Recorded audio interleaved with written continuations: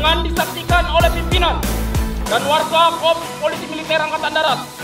Kami warga baru Korps Polisi Militer Angkatan Darat berikrar satu akan selalu mengamalkan sabta basa, sumpah prajurit dan panca dharma kor, serta senantiasa menjaga kehormatan Korps Polisi Militer Angkatan Darat dalam kehidupan sehari-hari sebagai perilaku terpuji. Dua, mengutamakan kepentingan Korps di atas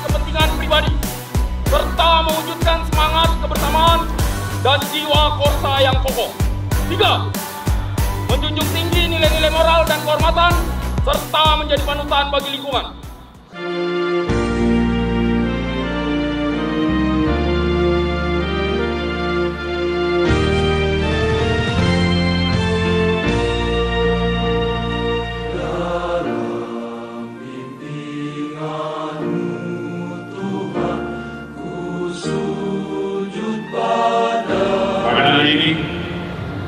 Jumat tanggal 4 November pukul 09.13 waktu Indonesia Barat prajurit Tahanan Nasional Barat sebanyak 32 perwira 120 tansaman dan dua warga kehormatan dengan resmi saya terima sebagai prajurit polisi militer Angkatan Darat.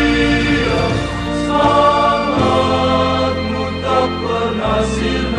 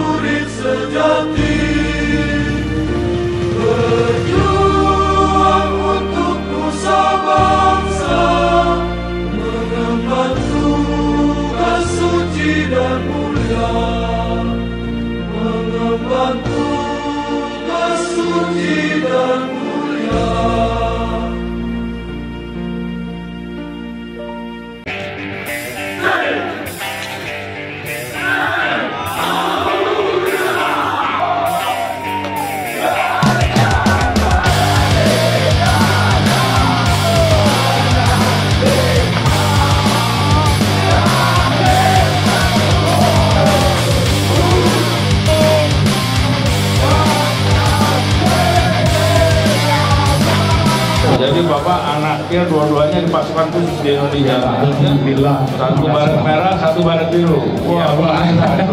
Jadi saya sangat bangga sekali Pak, Ya. saya masih muda udah PM Pak. Ya. Ada di kampung kami Pak, di Surabaya, jarak wah, 350 km dari Medan.